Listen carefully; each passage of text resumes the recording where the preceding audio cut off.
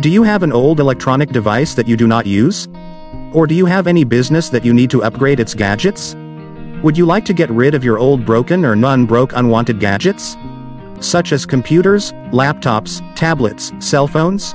Before going to start our video, let me tell you some harmful effects of e-waste on our health and the environment. Do you know most computer electronics gadgets contain a huge amount of toxic chemical materials?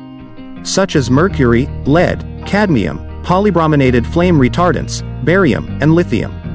The negative health effects of these toxins on humans include brain, heart, liver, kidney, and skeletal system damage. Specifically, the lead if released into the atmosphere can cause damage to human blood and kidney. How does it work?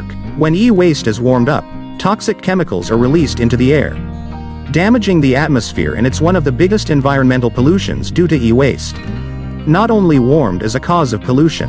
When electric waste is thrown away in landfills, their toxic materials seep into groundwater, affecting both land and sea animals.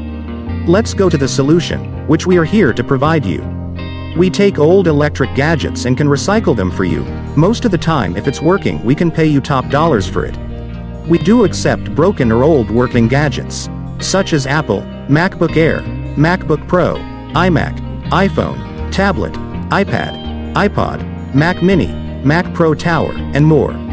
Do not worry we do accept other gadget brands, such as Samsung, HP, Lenovo, Razer, Toshiba, Nikon, and others. Also, we do help the companies to get rid of their used old electronics devices for cash. Or upgrade with newer gadgets which are also available at our store. I know many of you are thinking about your data. So don't be worry about we will wipe all the data in recycling devices. So no need to worry about your data that's guaranteed. Let help nature by receiving your old broken gadgets. And stop electronics landfills. You can visit our website for further details. www.tronicscenter.com. And don't forget to subscribe to our channel. And hit the bell icon for quick notifications about new updates.